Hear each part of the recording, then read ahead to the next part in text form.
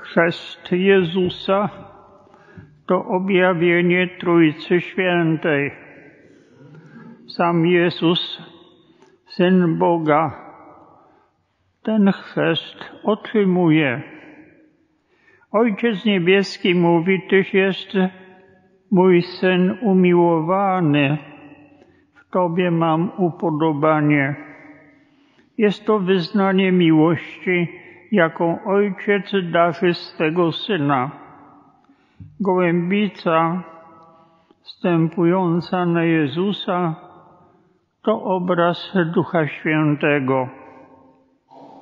Na taborze trzej apostołowie Jakub, Jan i Piotr usłyszą jeszcze Jego słuchajcie. To jest tajemnica Ewangelii. Trzeba wiedzieć, kim jest Jezus, ale sama wiedza nie wystarczy. Trzeba Go znać i słuchać, czyli być Mu posłusznym. Bóg Ojciec ma w nim upodobanie. To coś niesamowitego, bo w Chrzcie Świętym Bóg Ojciec mówi do każdego z nas, Tyś jest mój Syn umiłowany. Wtedy zaczynamy dorastać do tego, bym nam powiedział, w Tobie mam upodobanie. To jest nasza codzienna modlitwa. Ojcze, bądź wola Twoja, tu i teraz.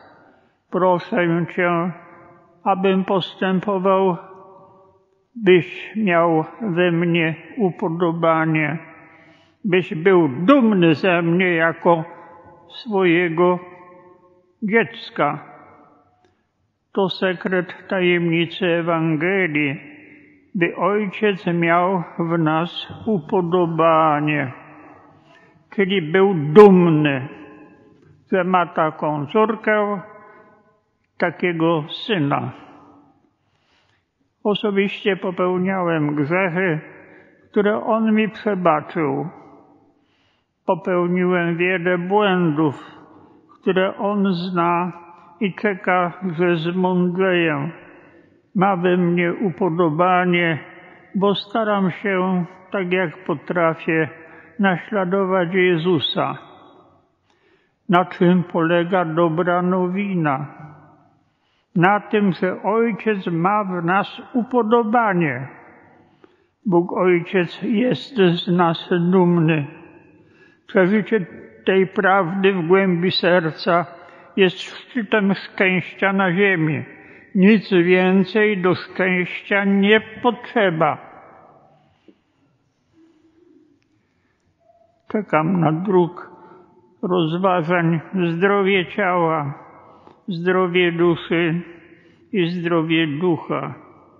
Urodziłem się mając ciało i nieśmiertelną duszę, a drugie narodziny miały miejsce w godzinie mojego chrztu.